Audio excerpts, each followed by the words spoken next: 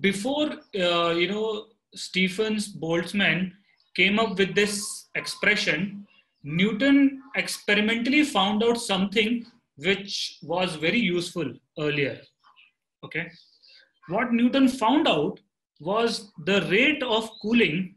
Please write down.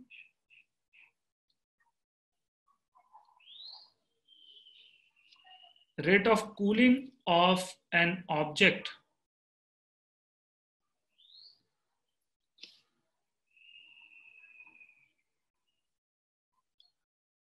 is proportional to the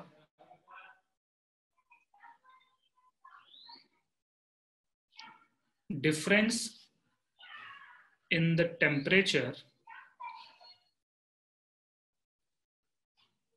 between uh, body and surrounding. So basically how fast something is cooling down is directly proportional to what is the temperature difference. So what Newton has told us that dq by dt, the rate at which something is cooling down is proportional to temperature of body minus temperature of surrounding. Okay. So if I put a proportionality constant, then dq by dt should be equal to all of you able to understand, right? Any doubts? Sir, I have a doubt. Hmm, quickly ask me.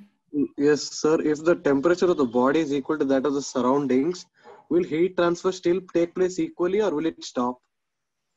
Heat it will be in equilibrium. The amount of heat something is releasing will be equal to amount of heat something is absorbing. You'll not able to notice. So it will be happening equally in both directions. Yes. Have you learned chemical equilibrium, chemistry? Yes, sir. Something like that. This is called physical equilibrium. Yes, sir. Thank you, sir. Hmm. So dq by dt will be some constant times tb minus ts. Okay. Now we have learned in, let me go to the earlier slide, but before I go to, please write this down the rate at which the object is cooling should be equal to C times TB minus TS. This is what Newton has told us before Stefan's came up with the equation. This is called basically Newton's law of cooling.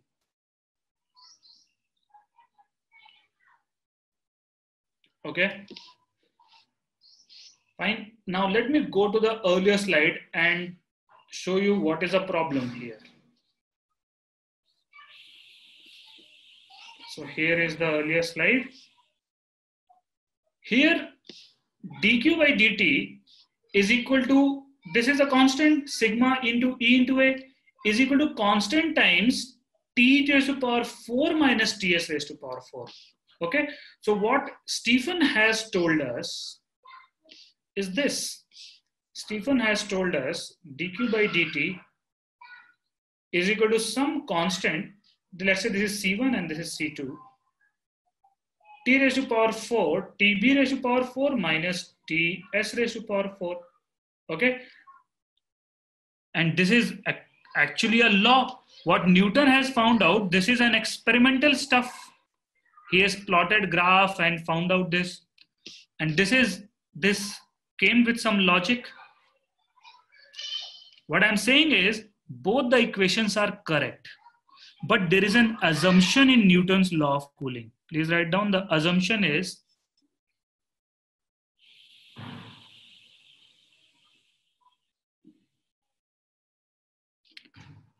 temperature of body and temperature of surrounding are close to each other. When I'm saying close to each other, doesn't mean that they are equal. So temperature of body could be maybe just 80 to 100 degrees Celsius away from temperature of surrounding. But it cannot be like 100 degrees, it cannot be, let's say, 300 degrees Celsius away from the surrounding or 1000 degrees Celsius away from the surrounding.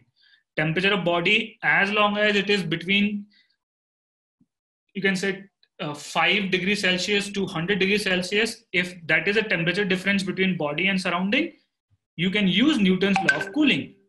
Now, how can I get the Newton law of cooling from Stefan Boltzmann law? So what you can do is, you can rearrange the term, you can write it as C2, T, this is A square minus B square. Okay, so I can write this down as TB raised power 2 plus TS raised to power 2 TB2 minus TS2. Then I can simplify it as TB square plus TS square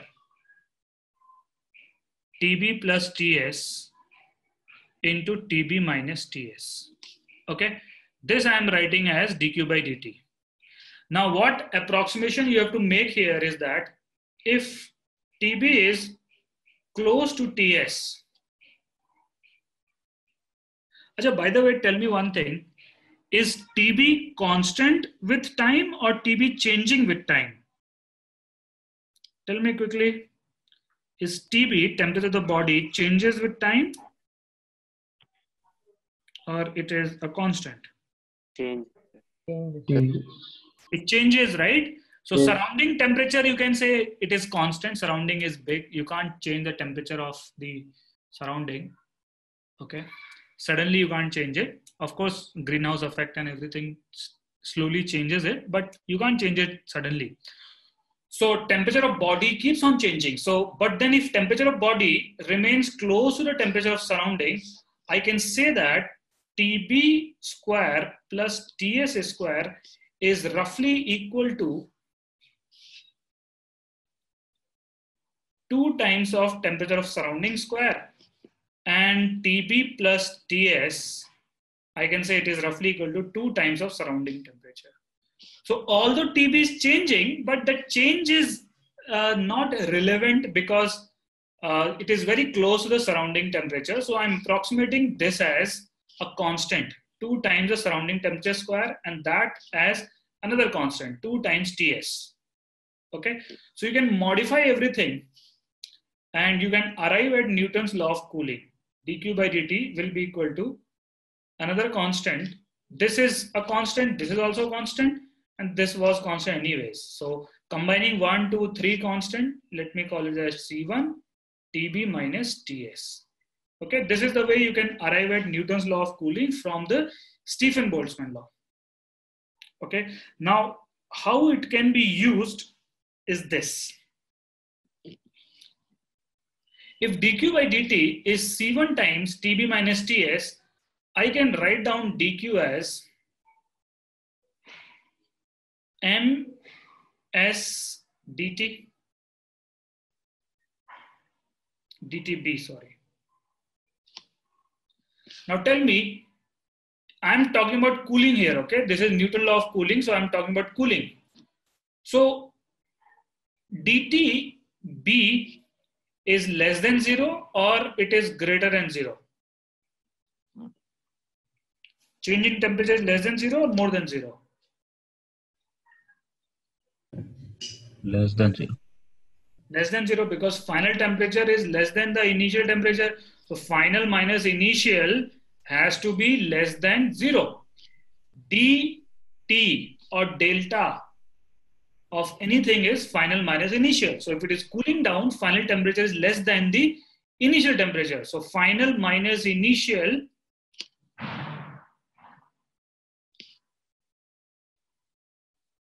has to be less than zero since TF is less than TI. Okay. So that is why DQ has to be minus of that because right hand side is a negative quantity, left hand side is a positive quantity. So dq by dt is minus of ms dt b by dt, like that. Okay. Now I can substitute this value over here.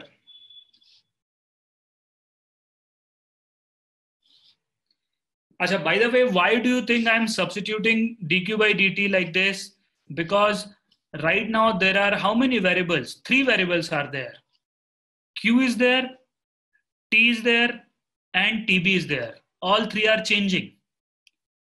I want to decrease the number of variable. That is why I'm writing dq by dt in terms of already, which is a variable tb and t. Okay. So when I write like this, I'm reducing the number of variable. So if I reduce the number of variable, the solving of equation becomes simpler. You'll see how.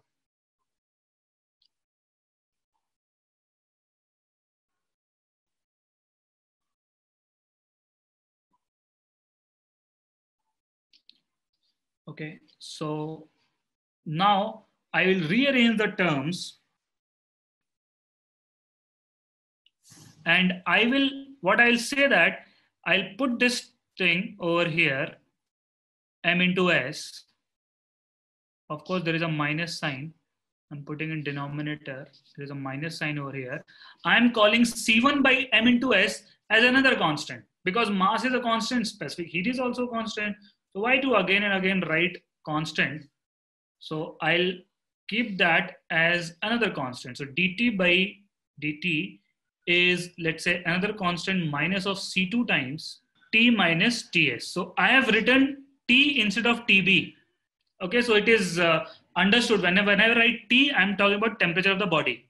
Okay, and temperature of the body, which is at the surface, is equal to temperature of the entire body. Otherwise, you can't write MSDT. Anyways, we'll not get into so much finer details that you'll understand when you solve numerical only. But right now, uh, a basic understanding is fine. So I can rearrange the term dt divided by t minus ts will be equal to minus of c2 times dt. So I can create a differential equation and solve it. If I write dq by dt as ms dt, that is why I am uh, I have written like that. So my the my values will be from zero to t, and let's say initial temperature is T1 and final temperature is let's say T2 at time t. Do you know what is the integral of dt by t minus ts? What is this integral?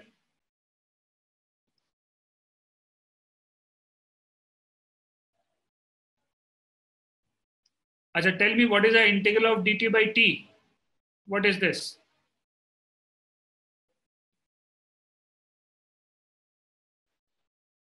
Okay, please remember this. The integral of dt by t is ln t. Similarly, integral of dt by t minus ts is ln of t minus ts. Go from t1 to t2. This is equal to minus of c2t. Okay. So I can substitute the limits. This Newton laws of cooling is very mathematical. So probably you may have to uh, you know memorize few things if you're not very comfortable with the differential equations okay but soon you will be getting used to of these kind of differential equation so ln a minus ln b is ln of a by b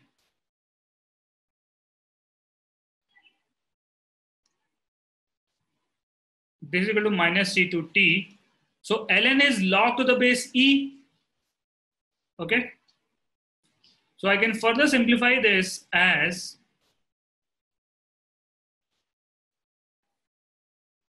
T2 minus T1 divided by T2 minus Ts divided by T2 minus T1 is equal to e to the power minus C2T. So I can say that T2 minus Ts is T2 minus T1 e to the power minus C2T or T2 is equal to Ts plus T2 minus T1 e to the power minus C2T. Is this derivation done in your school? Yes or no? No, no, sir. No, sir. No, sir. Okay, so probably for your, I mean, there, but then this is there in your, uh, let's say, in your textbook, okay? So that is why I have done it. So probably in your school UT, it may not be asked, okay? But then if you look back, let me scroll through. Look back from where we have started. We have started from Newton's law of cooling. dq by dt is a constant times difference in temperature between body and surrounding. Then I'm saying that if dq is the amount of heat, dq should be equal to minus ms dt. So dq by dt will be equal to minus ms dt by tt. So I've substituted that. And why I have substituted that? So that I can reduce the number of variables. Once I have substituted that, that it is now flowing like, you know, flowing with the logic. I'm just going uh, with what I should be doing. So here I'm, I'm separating the variables. I'm putting all the t terms left hand side and the time terms on the right hand side. And then I'm integrating and I'll just keep on doing that. Finally, I'm getting this. Okay. So that's how it is. And you can see that when t tends to infinity, e to the power minus c2t tends to zero because e to the power minus infinity is zero. So if this term is zero, T2 will be equal to surrounding temperature only. So you can see that after a long time, temperature of the body becomes equal to the surrounding temperature, which is accept, which is what we have you know expected. And when T equal to zero, e to the power minus c to t is equal to 1. So you can see that T2 was equal to, just one second, what is T1? Yes, when T equal to uh, zero, you can substitute and see what is the value of uh, T2.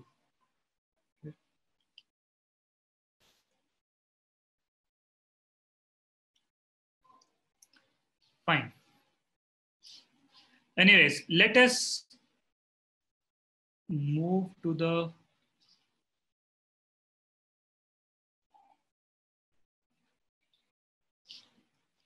people are still joining is ronak is joining again and again for some reason he's leaving then joining then leaving and joining why Could be internet problem. is it Reliance Jio Gee. okay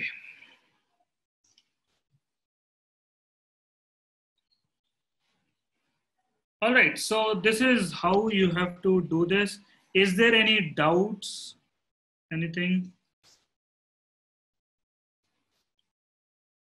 Sir, shouldn't it be ln t2 minus ts minus ln t1 minus ts? Yeah, that is what I was wondering. Somewhere I made a silly error. So this is T2 minus T1 and this is T1 minus TS. Good that you helped me find that out.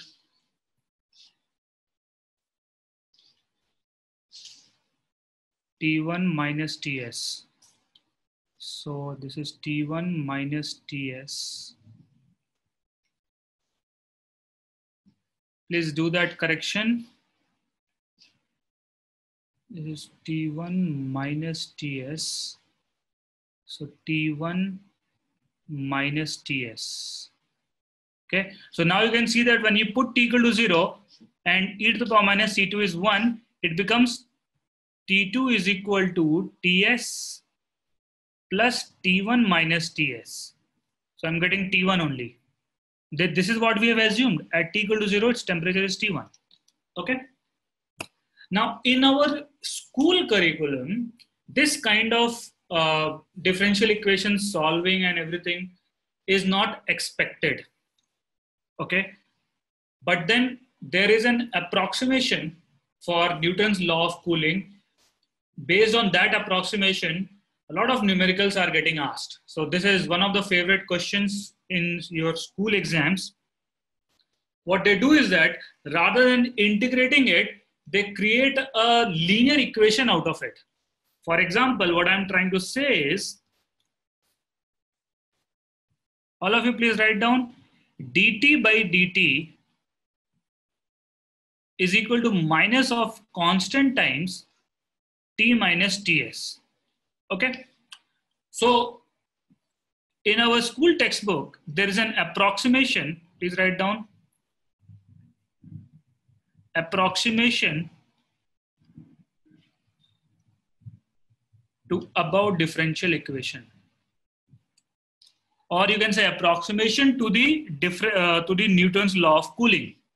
So dt can be written as delta t divided by whatever time it has taken is equal to minus of c. What can I write for capital T? T is the temperature of the body which keeps on changing. So what should I write T as? Initial temperature or the final temperature?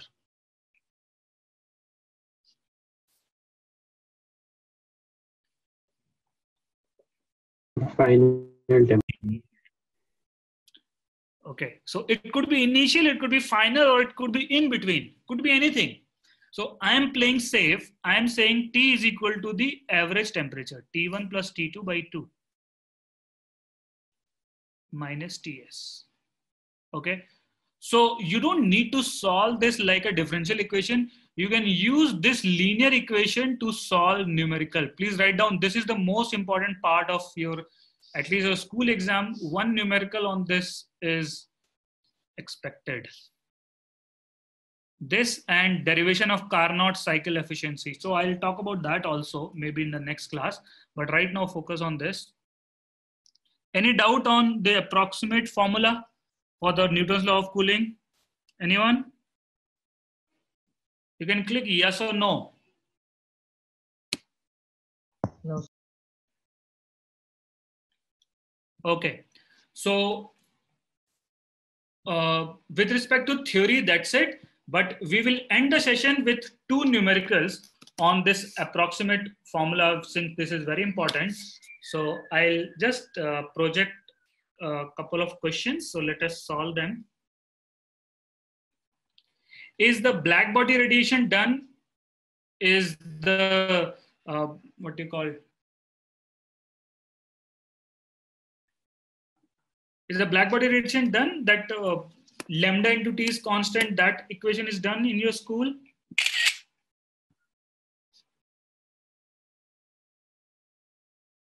anyone can answer Yes, sir, they finished black body radiation. This is explained in brief in our class. have they talked about lambda into t is a constant No, sir. okay anyways. So some portion is left over. Anyways you can see there is a question in front of your screen. Please solve it. If you get it right the first time you don't need to do newton law of cooling again. And the formula which you have to use is in front of you this formula. So will we have to take the temperature in Kelvin? Do you have to take temperature in Kelvin? No, you don't need to if you take all temperature in degree Celsius because there is a difference in temperature everywhere. Right hand side is also difference between this temperature, average temperature and TS. Right, uh, left hand side is also delta T. So you don't need to convert in Kelvin. So what is C? What is? C value. C is not given to you. That is why there are two scenarios given in the problem. So you have to get rid of C. Two equations, two variables you'll get. C is a variable when you write down the two equations. So is it 0.7 minutes? One more minute, guys. I'm waiting for everyone to solve it. So you're getting 42 seconds. 42 seconds. Okay. 42. Yeah, sir, 42 seconds. Hmm. So let me write down the equation. Please, all of you pay attention here. There are two scenarios that are given in the problem, isn't it? The pan filled with hot food cools from 94 to 86 in two minutes. This is scenario one. When the room temperature is 20, how long will it take to cool down from 71 to 69? So 94 to 86 is scenario one, and scenario two is 71 to 69. So without uh, wondering about how to solve equation, the first step is to write down the equation. Okay, so the equation for the case one What is case one? 94 to 86. So 94 to 86, delta T is what? Uh, delta T is final temperature minus initial temperature. So 86 minus 94 divided by delta T, which is the time it has taken. So I can write down as 2 into 60 seconds. You need not convert in second also, but just to play safe, you're converting in seconds. And that's a good practice. Minus C times T1 plus T2 by 2, average temperature, which is 94 plus 86 by 2, minus temperature of surrounding. Surrounding is your room temperature, minus 20. So this is your case number one equation.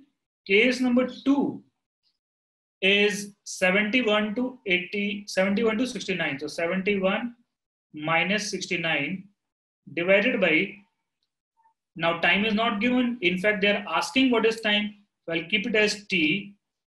Now this constant does not change with respect to which scenario I'm talking about. So constant remains c only.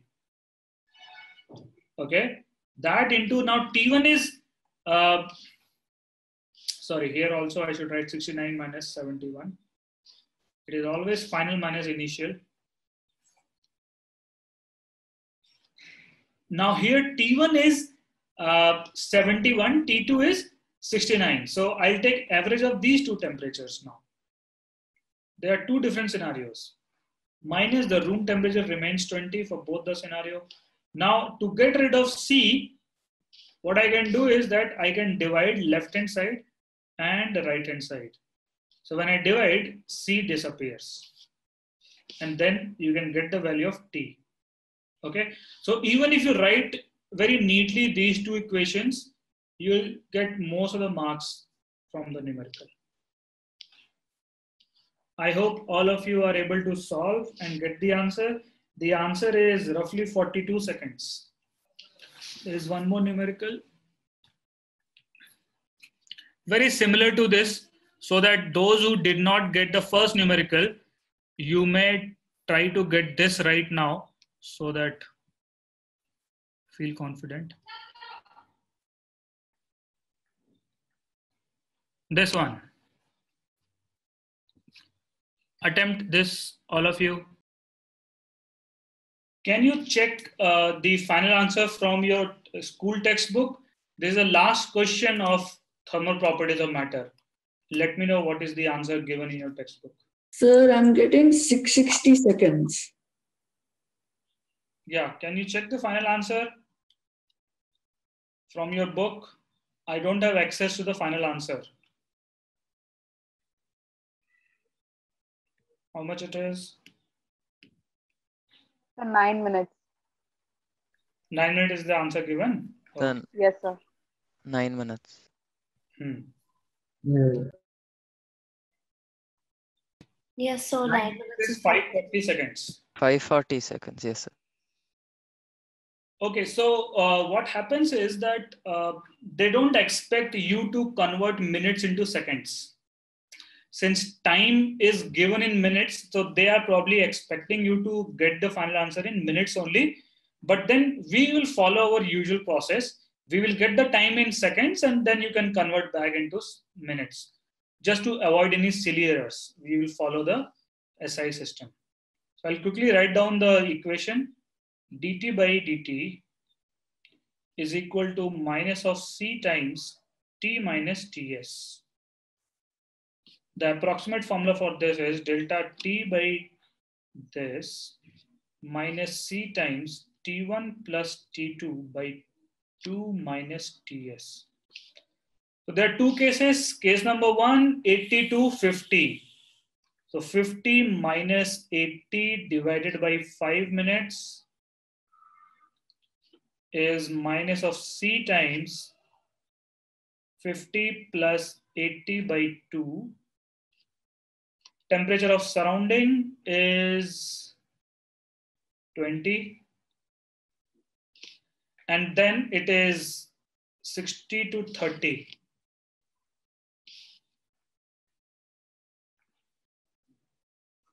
And this time I have to find what is T minus C 30 plus 60 by 2 minus 20. So again, you divide it. C and C will disappear and just rearrange the terms, you will get the answer. Okay, very simple and straightforward. So these kind of numericals can be asked. Okay. All right, friends. So that's it for today. Thank you, Thank sir. you, sir. sir. Thank you, sir. Thank you, Yes, sir. sir. Thank you, sir.